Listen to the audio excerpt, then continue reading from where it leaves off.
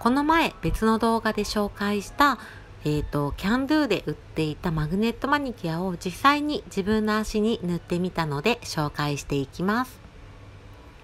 まずマニキュアは特にこういうマグネットなど中に素材が入っているものは特にしっかりと振って中の素材を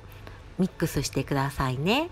でそしたらこちらがこのキャンドゥでセットで売っているマグネットになります。セットだけど別売りですよ。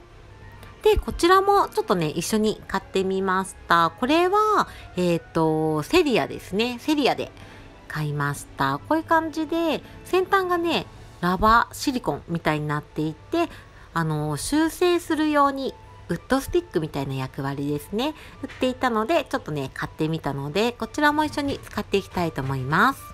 動画をまとめるときになぜかベースコートを塗った動画をまたね、なくしてしまったのですいません。ちょっとカラーからいきたいと思います。まずはしっかり根元のラインを取ってから先端にスッと素早く伸ばして、で、コーナー、サイドと取って、また反対側のコーナーの部分、サイドと通っていって、なるべく素早く塗っていきましょうね。塗ってる途中で乾いてくるとデコボコしちゃうし、あんまりにもムラを深追いしすぎてもさらにデコボコしてしまうのでちょっとねマニキュアの表面張力に頼りながらささっと塗っていきます。そしたら早速セリアンのこの修正ペンを使っていってみましょう。こういう感じで使っていくので合ってるのかな？しっかりと先端のところ綺麗になりました。で他の指も塗っていきます。で、マグネットで、えっ、ー、と、ジェルもそうだし、マグネットマニキュアもそうなんだけど、えっ、ー、とね、この、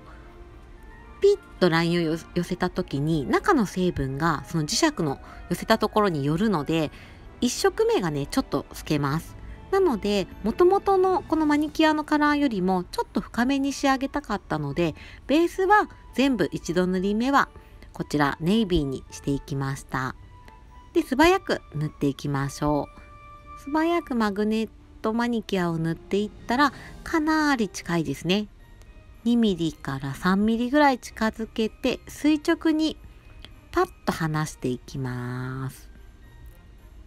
綺麗にラインが入りましたね。でそしたら他の指もやっていきますね。この辺りは早送りでいきますね。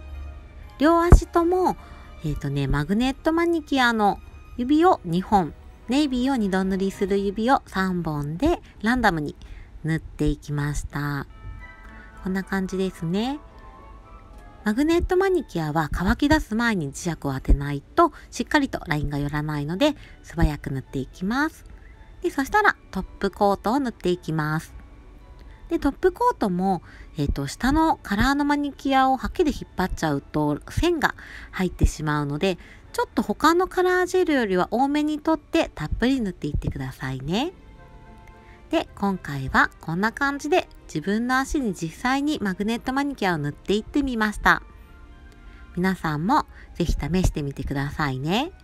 今回も最後まで見てくれてありがとうございました。また見てね。